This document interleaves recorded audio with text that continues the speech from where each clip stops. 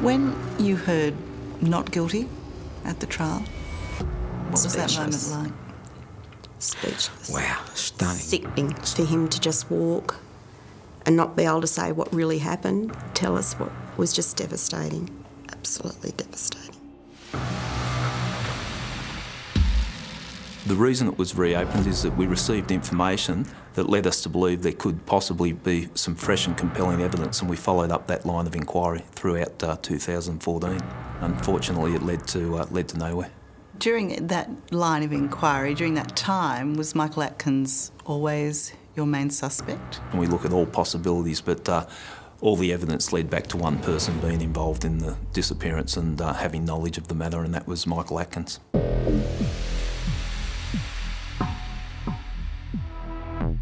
When a person is giving evidence at a coronial inquest, they have the right to silence on the basis that they may be incriminated by the evidence that they provide.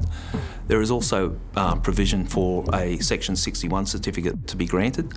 What that means is that the person can give evidence without fear of prosecution. So, in effect, someone can get in the witness box with a Section 61 certificate, make full and frank admissions, and that evidence can't be used against them.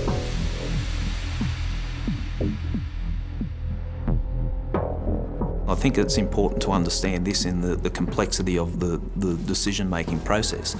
Was that it was my view and that of other investigators on the uh, strike force, the likelihood of us gathering any fresh or compelling evidence against uh, Michael Atkins was uh, very unlikely. Could be said that it was a risk. We're putting someone in the witness box that potentially could make admissions in relation to a murder, and that we couldn't use that uh, use that information against them.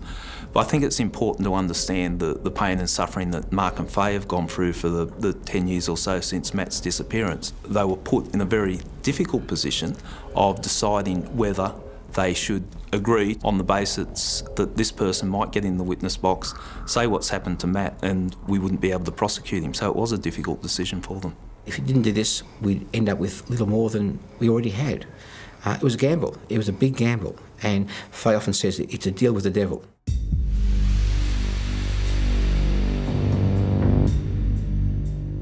He contradicted himself and uh, he potentially perjured himself in the evidence that he provided.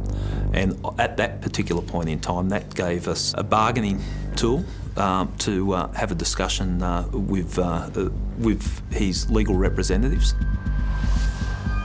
So, what was the bargain? Basically, to give Michael Atkins indemnity from prosecution for the perjury, In return for what? in, in return for him telling us exactly what's happened. But when you reflect on your priority, and that was to bring Maddie home, hmm. did that overshadow everything else? Yes, it it over- did. that was our goal, was to bring him home, and we said bring him home and lay him to rest like every person deserves. To me, it was a win lose, and the big win was we got our son back. The loss, well, I don't care what happens to him.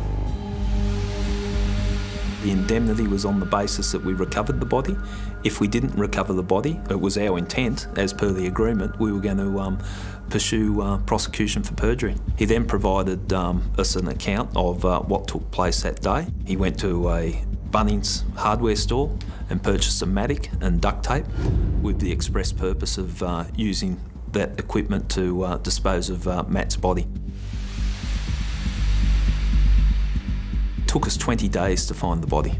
He provided us a, uh, a drawing, a mud map for want of a better word, as to the location of where Matt's body was.